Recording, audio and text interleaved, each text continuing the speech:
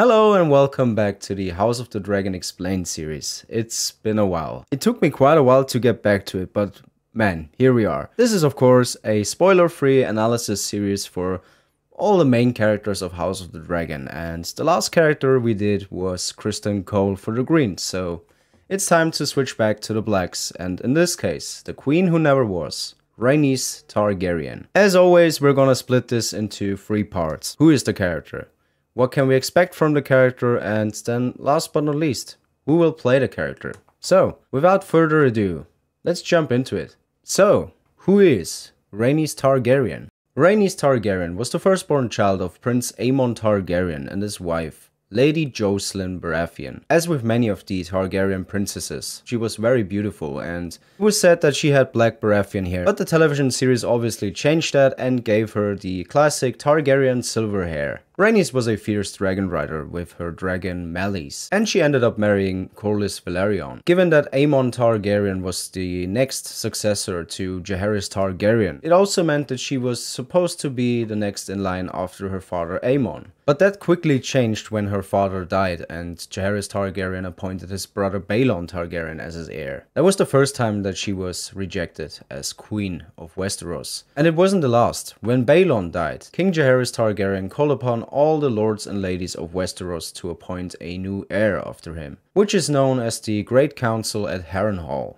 And she got rejected for a second time there, which resulted in her becoming the queen who never was, and instead of Rhaenys, Baelon's son Viserys Targaryen was chosen as the new king of Westeros after Jaehaerys Targaryen. And that is pretty much where we're going to start in House of the Dragon, so let's move on to the next point. What can we expect from Rhaenys Targaryen?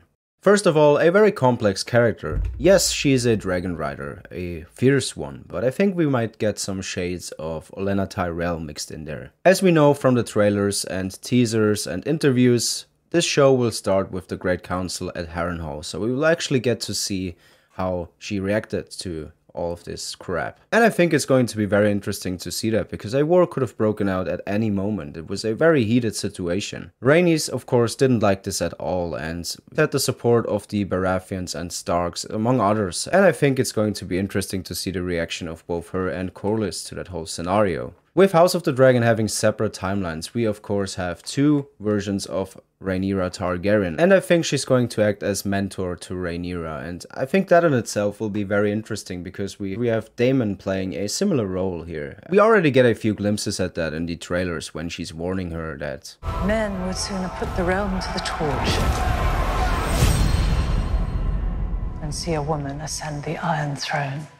Other than that, it's gonna be quite interesting to see her relationship with Corlys, as well as her children, Laena and Laenor Velaryon. So yeah, all in all, I'm expecting a very complex character, a political figure, and later on, a fierce dragon rider. I think the series might pick up with her being very hurt about the decision of the Great Council, and it's gonna be interesting to see how she comes back from this. I'm also expecting a very wholesome depiction of the relationship between her and Corlys. And yeah, I can't wait to see it. She's gonna be a very, very important player in the Dance of the Dragons. She's gonna steal the show from Rhaenyra in terms of action. I think from the promos and yeah, the stuff that they're releasing, you might think that Rhaenyra is going to be a similar character to Daenerys in terms of the action, in terms of dragon riding, and battles. But no, that's Rhaenys, at least in terms of the action. And yeah, she's gonna get involved in season 2, I think. I think she's gonna be a fan favorite, for sure.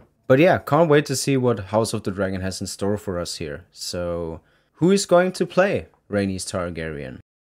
That will be the 51 year old Eve Best. I didn't know her prior to the casting announcement, but she's very experienced. She's been working in the industry for years and years. She's been doing a lot of theater work. From the interviews we've seen so far, you can just tell that she absolutely loves being in the show. Around these sets that look like ancient monuments and buildings with massive statues, or you can be on these amazing locations. You cannot believe that this is on the earth somewhere this extraordinary.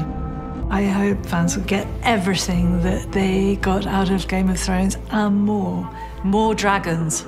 And I always love seeing actors being passionate about their role, so that's a great thing. And that's it for today. Thank you for watching. This was the last character for the Blacks. And we're just going to have one more now. King Viserys Targaryen. I originally wanted to do way more of these, but I'll leave a few characters for season 2. Characters that become much more important in season 2. For example, Mysaria or Aemond or Aegon II and Larys Strong and uh, Nettles and man, we still have some work to do, but I figured these 8 characters are enough to give you an idea. So yeah, once again thank you for watching, I hope you enjoyed this one, take care and see us later.